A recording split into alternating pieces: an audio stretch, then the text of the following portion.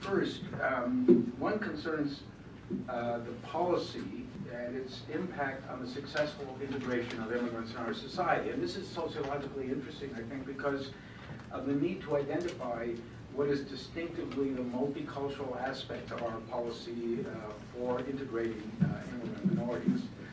So the second aspect I want to discuss uh, concerns the fact that the underlying philosophy of multiculturalism includes certain assumptions about human behavior which uh, can be stated as sociological propositions, you know, and you can do research and test to see if they're uh, valid. The one key proposition, for example, might be something like that successful integration of uh, immigrants, minorities in society can occur while members of the groups maintain significant, in a significant way, their own distinct identity and community life.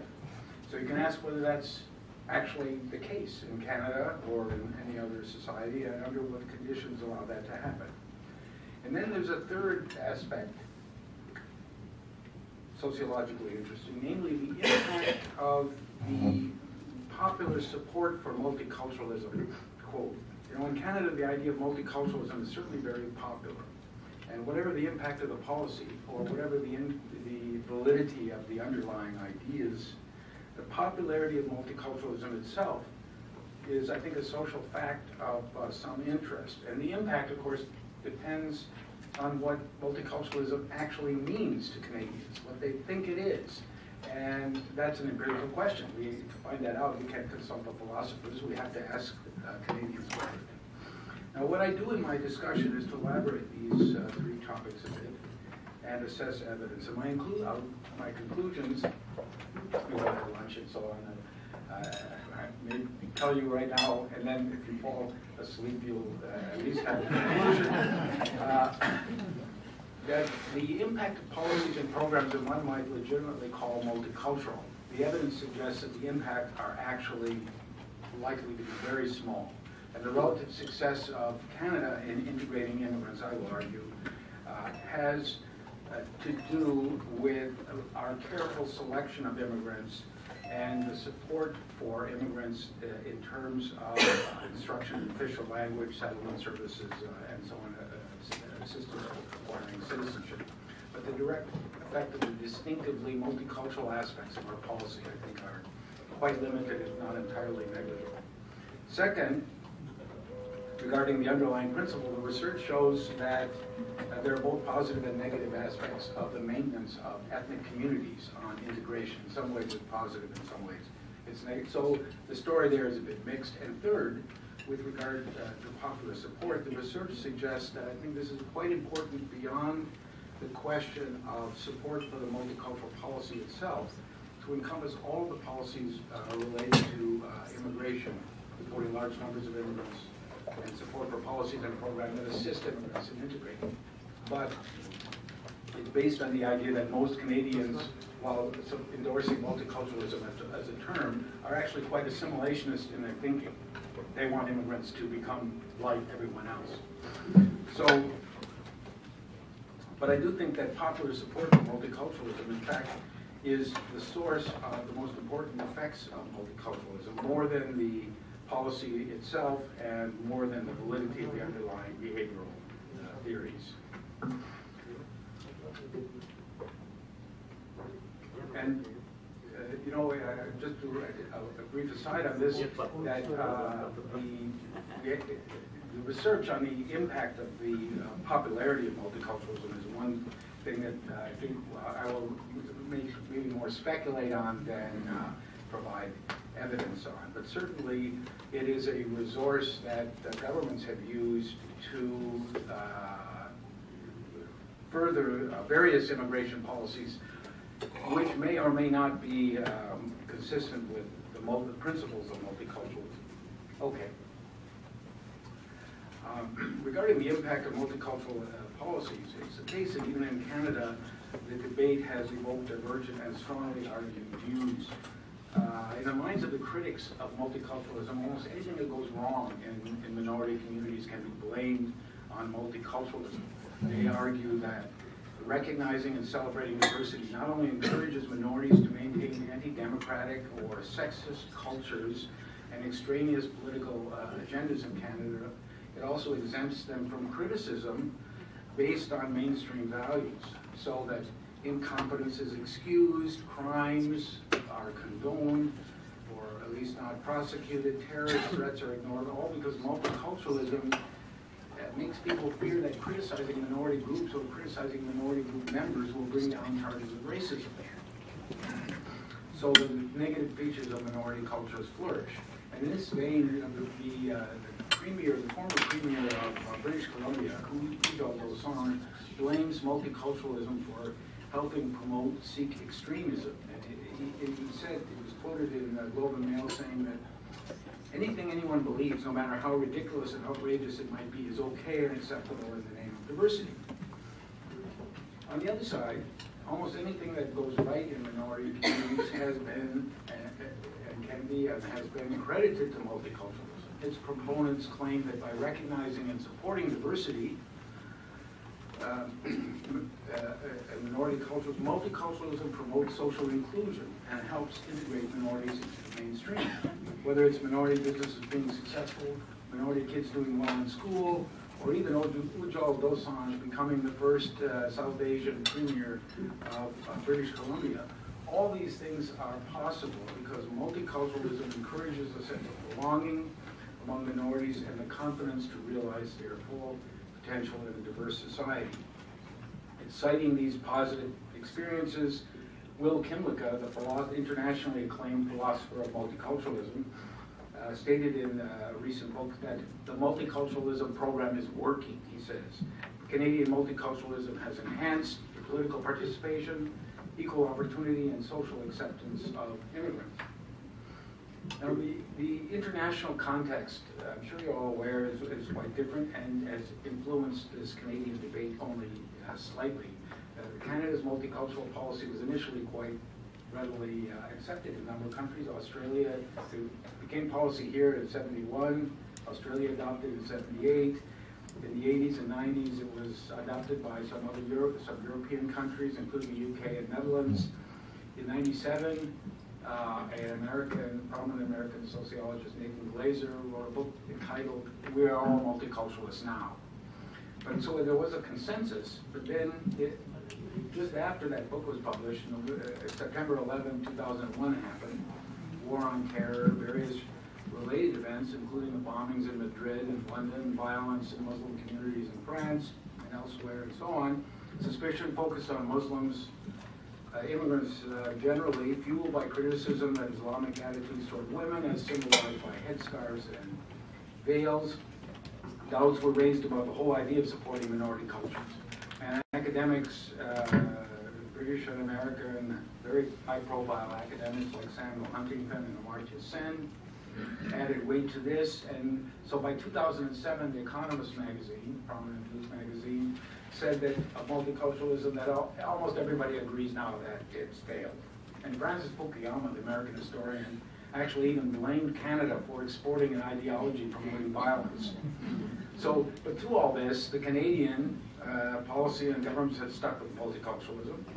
You know, they, they, they think multiculturalism, Canadians think it's a good idea, basically a good idea. Uh, but does it really work in Canada in the way that Kymlicka uh, says, in terms of affecting the lives of immigrants?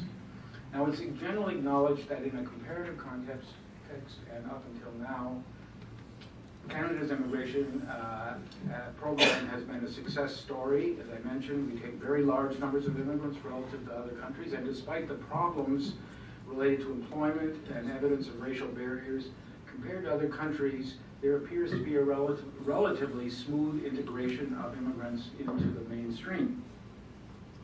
Immigrants have not only contributed significantly to the development of the economy, they have become an important and integral part of the Canadian community and cultural and social contributions of immigrants are frequently celebrated. But can any part of the Canadian success be attributed to its embrace of multiculturalism? So to, to uh, examine this, I want to first of all have a definition of uh, multiculturalism. So I'll refer to the policy as introduced by Pierre Trudeau in 1971. He stated that the main objective was to assure the cultural freedom of Canadians And uh, the policy offered assistance to cultural groups who demonstrated a need and expressed a desire to contribute to Canada. At the same time, it also offered help for immigrants to overcome inequality, participate equally in Canadian institutions, and uh, to engage with other groups, uh, such as we're doing today, and to, uh, to learn an official language. So what is distinctively multicultural in this Canadian policy? Uh, in the sense in which the term is later used by Kymlicka, um, it's just the one part, the promise to assist cultural groups. This is the key hallmark of multiculturalism in, in Canadian policy. Without it, all the other features would appear to be reflective of conventional settlement programs and measures to encourage equal opportunity, assimilationist uh, policy. A country which adopted only programs of mainstream language instruction for immigrants, for example, would hardly be considered to have a multicultural policy. Same applies to uh, equal opportunity uh, provisions. Canada has had equal opportunity provisions for years. The Fair Employment uh, Practices legislation at the provincial level, we've had it in 19, uh, since 1951 in Ontario and 64 in Quebec. At the federal level, we've had the Charter of uh, Rights and Freedoms and the Canadian Bill of Rights for some time.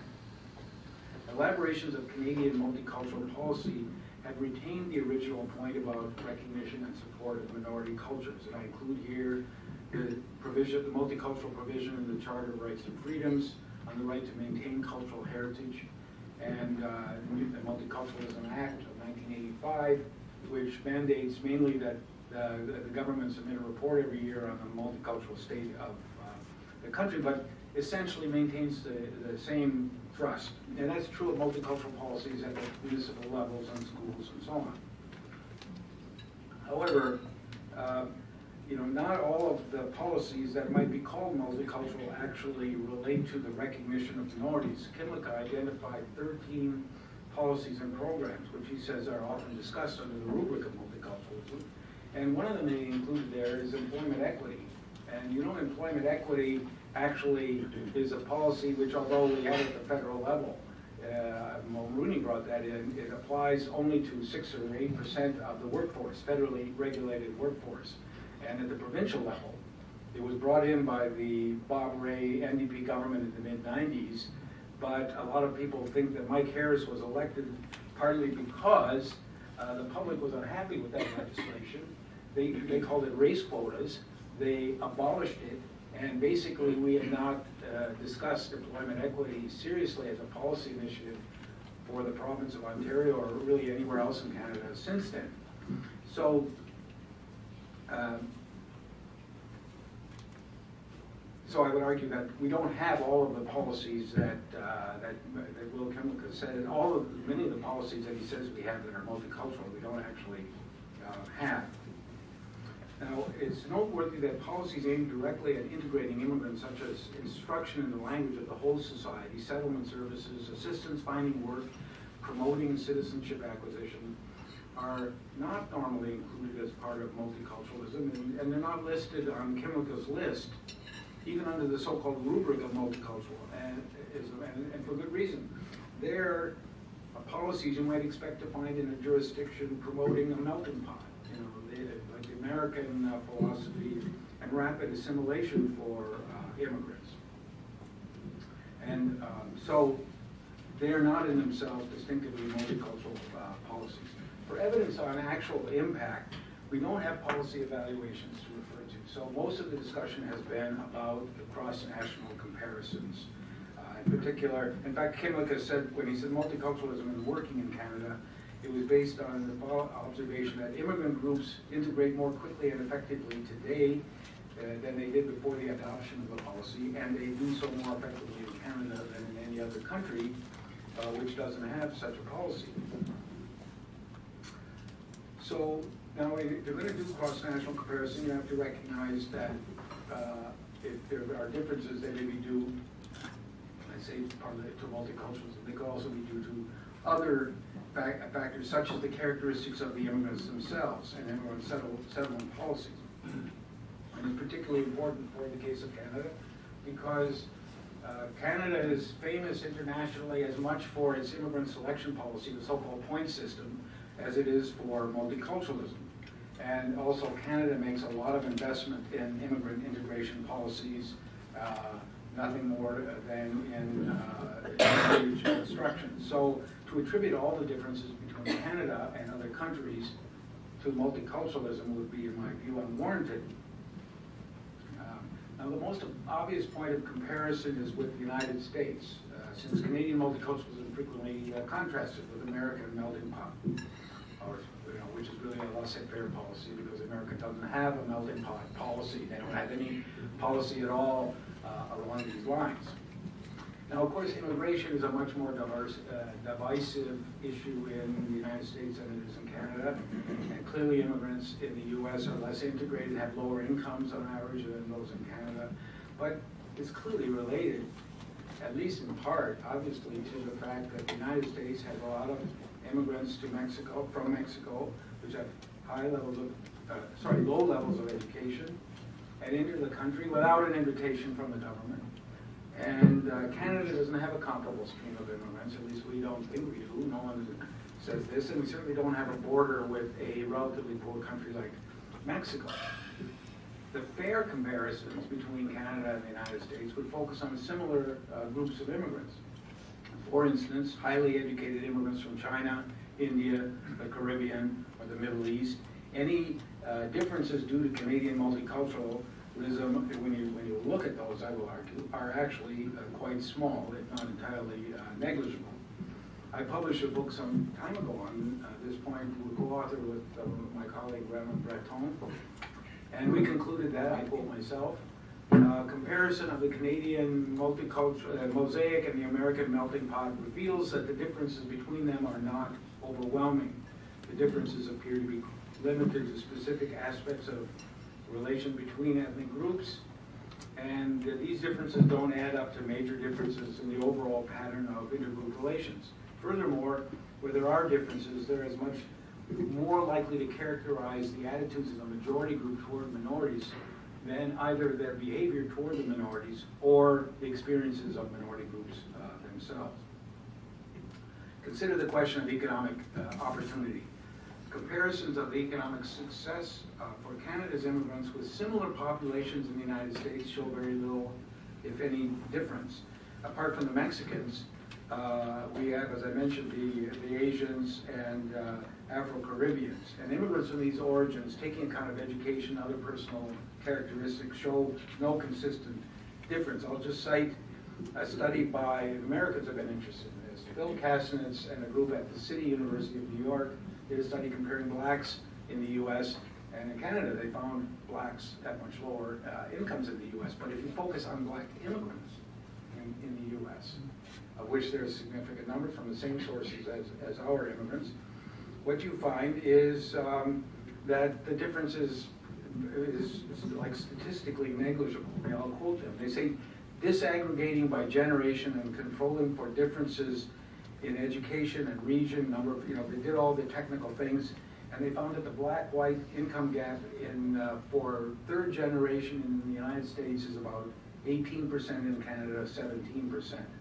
So they concluded Canada and the US are not so different in terms of the mechanism generating racial income inequality. And they were surprised by this. Their expectation was that the history of racism in the United States rooted in the experience of slavery would have generated a more negative uh, pattern there that would impact immigrants. And that was the basis for expecting less uh, positive outcomes in the United States. They didn't mention multiculturalism, uh, but they found uh, a little difference. Kymlicka's uh, most recent uh, discussions of this had made reference to a, an OECD study on the education of the children of immigrants. And uh, there's evidence there uh, across 17 countries, and they say, well, Canada leads the pack, and that's due to multiculturalism. Now, if you look at the study, I'm very interested, I look at the study, and it, it, first of all, the country that's a close second to Canada in this is the United States, and which he never mentions. And the, and, the, and the, the third is Australia, and the European countries are all lagging behind. So the real finding is that it's the countries, the traditional countries of immigration, we've done well uh, in educating the children of immigrants. Furthermore, um, when they looked at the, uh, the, these things, they emphasized, OECD emphasized the importance of policies to ensure instruction in mainstream languages. Uh, and, they imply that support, you know, this is supporting the mainstream culture rather than minority cultures. They nowhere mention multiculturalism, and whereas Kymlicka uh, says that uh, this massive OECD study that established Canada's comparative advantage emphasized the crucial factor was the presence of policies to address issues of cultural and linguistic diversity, uh, which in the Canadian context have emerged under the multi, uh, rubric of multiculturalism. But they actually expressed skepticism toward, for example, minority languages programs as, as enhancing the general education of uh, immigrants. I did a, a, study published recently comparing the overall educational, occupational, and income success of the children of immigrants in Canada, the United States, and Australia, focusing on the particular groups of immigrants, and uh, I found little difference among them. So now we could go on with this. Um, there's some discussion of uh, the fact that uh, there was a study by a uh, young scholar, Irene Bloemraad, which showed that immigrants in Canada uh, take out citizenship more rapidly than immigrants in, uh, in uh, the United States. And she attributes to multiculturalism. But you look closely, what it is, is the government channeling information about uh, citizenship acquisition through uh, ethnic organizations that they are funding. And, you know, in a way, you could say they're taking advantage of the multicultural policy to promote assimilationism under the table. It's not really the operation of the principle of supporting minority cultures that's going on here. It's, it's I would say, uh, looking at, uh, uh, as, uh, pursuing essentially a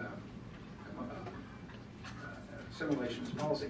Another interesting thing you can do is compare Quebec with the rest of Canada, because Quebec policy is not multicultural. You know, we often think that we are Canadians, we are all multicultural, and we forget where did multiculturalism come from? It came out of the debate that was occurring in the '60s over bilingualism. We had, remember, we had a, uh, some of the people my generation will remember that there was a royal commission on bilingualism and biculturalism. And uh, some immigrant groups objected to biculturalism, that Canada would be official, have official cultures. And so Trudeau came up with the idea of multiculturalism that would get support from the immigrant minorities for bilingualism while retaining bilingualism. His bottom line was bilingualism was the crucial thing. Now, people in Quebec didn't like that in particular. Multiculturalism has never been popular in Quebec because they felt, saw it as a downgrading of their, of their own agenda. And so they adopted in the province a policy of interculturalism. And interculturalism maintains the idea that the responsibility of the Quebec government is to is to support the French language and culture. And within that context, uh, support uh, minority groups. So it's a different policy. Uh, uh there's a professor uh, of psychology at the University of Montreal who has uh, done some research on the uh, on integration of immigrants in Quebec and the rest of Canada, and finds that uh, there's very little difference uh, there. If anything, immigrants in Montreal complain of discrimination, for example, less than in Toronto. So uh, there, the, the, there's a effect of multiculturalism. You'd expect to see it more in English Canada than in but. Uh, so now I'm going to turn to the second uh, topic here, the validity of the behavioral theory of multiculturalism. And, you know, the debate over multiculturalism, as I say, is importantly about uh, the human behavior. And um, proponents of multiculturalism say that minorities who are permitted or encouraged to maintain attachments to distinct culture of their ancestral homeland will experience psychological and social benefits that contribute to the mainstream society and be, be well integrated. So is this uh, the case? I did a study of this under, uh, mentioned the book on multiculturalism and social cohesion based on a survey that was done in Canada in 2002 of, uh, by the Statistics Canada, 40,000 interviews across the country with people of mainstream Canadians and people in a number of minority groups, visible minorities, children of immigrants.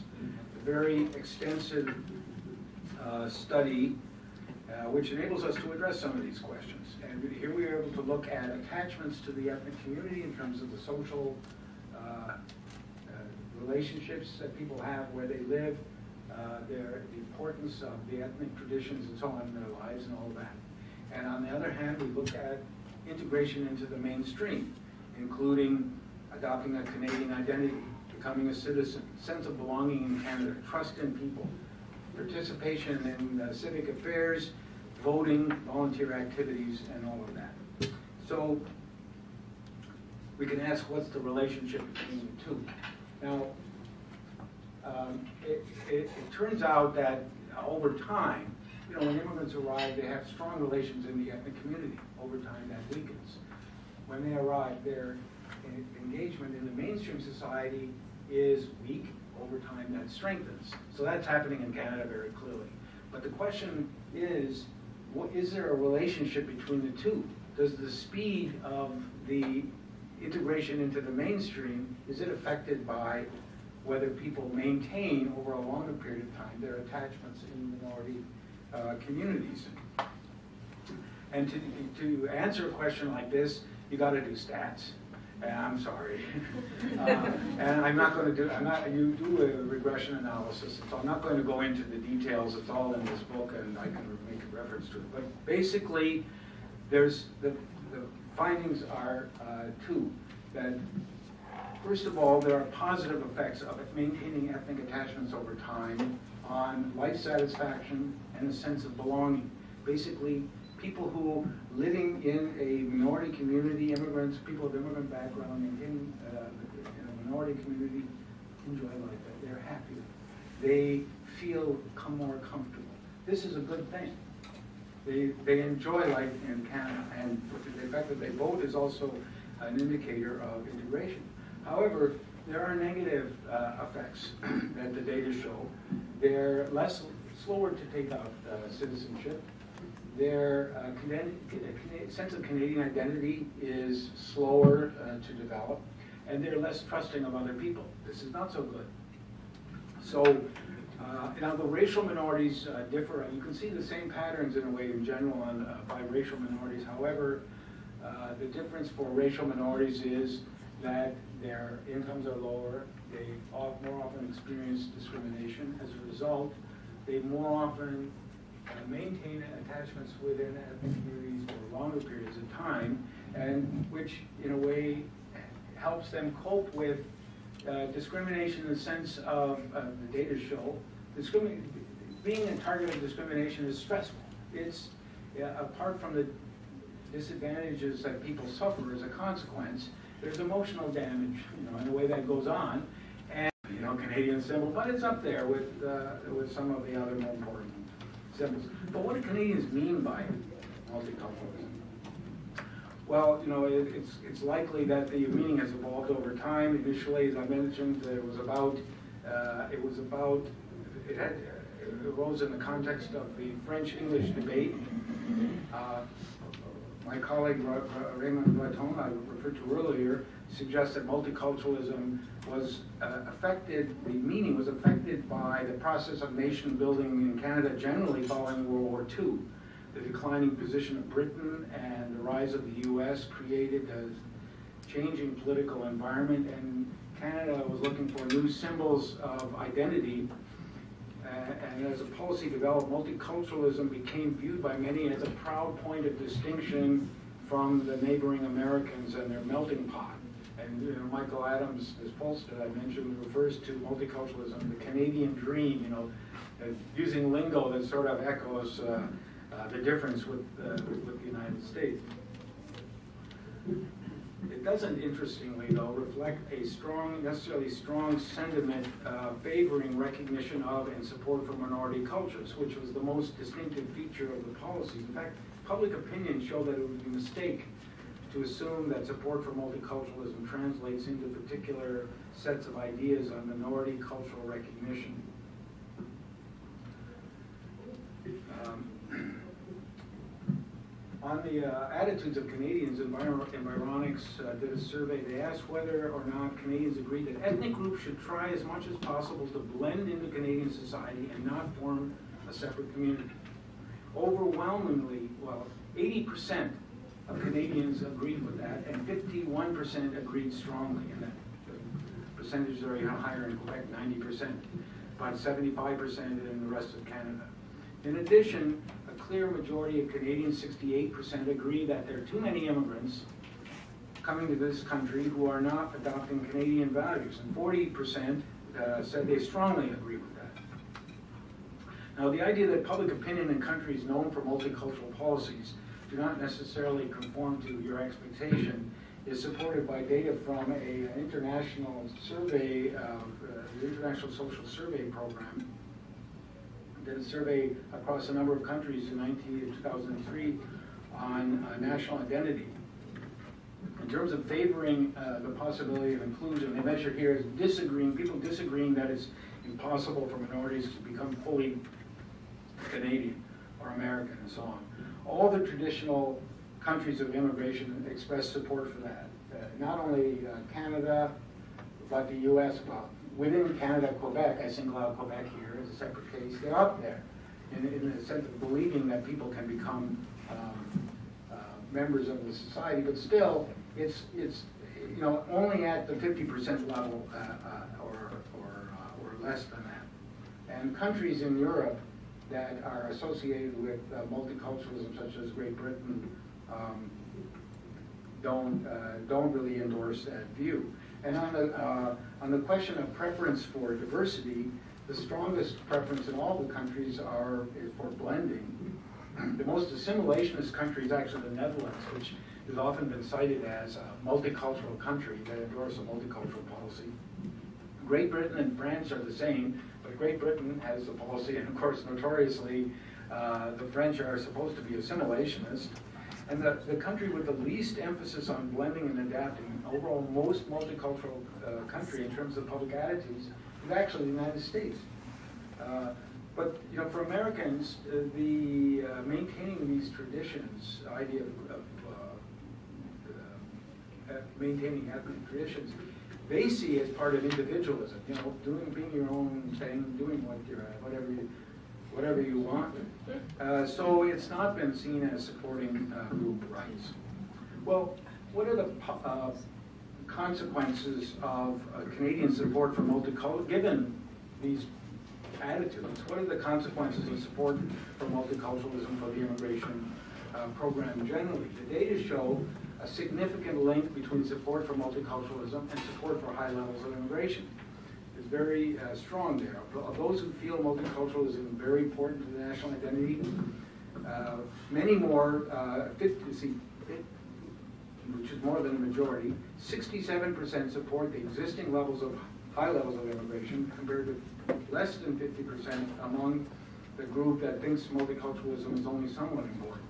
And the people who think it's unimportant, it's only 41% supporting immigration. So multiculturalism, in a way, is a kind of a pro-immigration ideology uh, in Canada. The idea that Canada, by the way, is particularly receptive to immigrants is reflected in a lot of international data, including this uh, data from a, a German Marshall Fund uh, study. And this is uh, Canada's way over here on the right.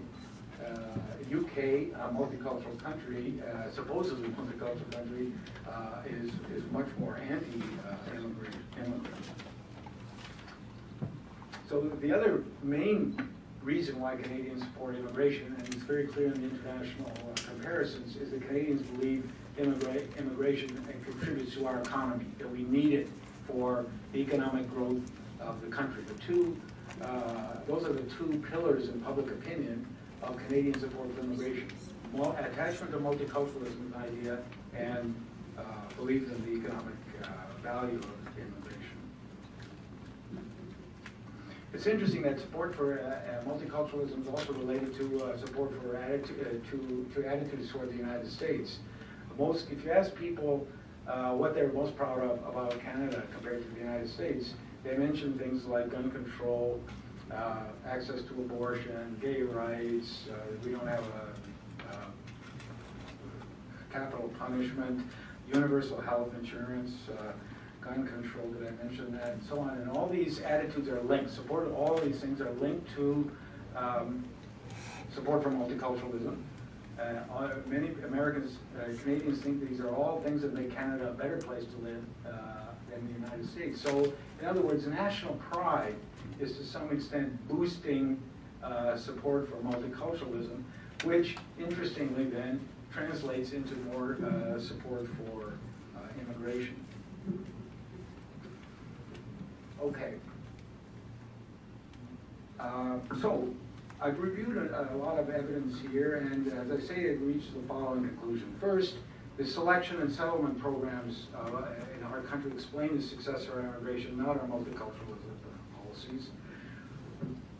If you look at the validity of the theory, you find that um, maintaining traditions and cultures in uh, Canada actually has positive and uh, negative effects on integration.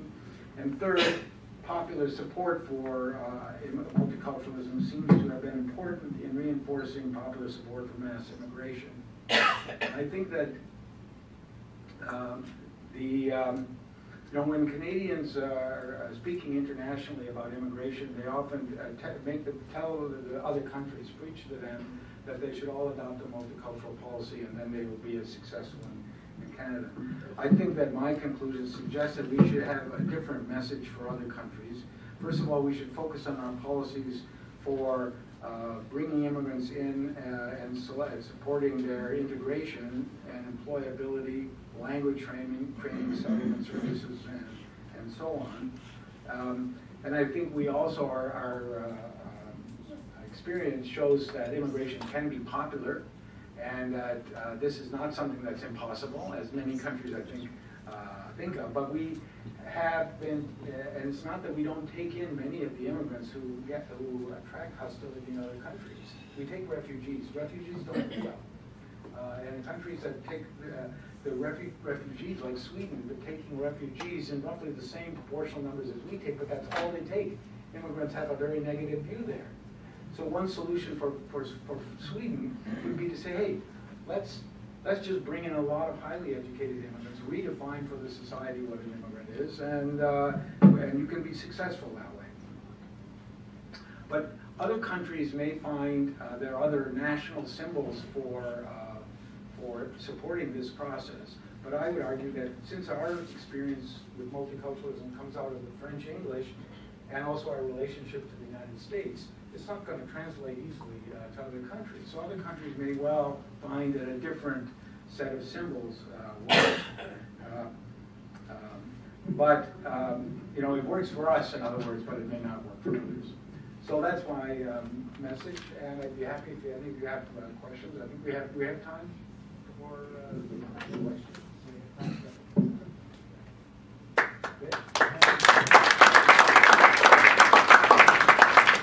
So we've got fifteen minutes for questions and answers. If anyone has any questions. Yeah. Why has the multiculturalism failed in Germany? Could you please speak up? it- it- Repeat the question. uh, She asked why uh, multiculturalism failed in Germany. Well, you know, as Mrs. Merkel says that it's failed, but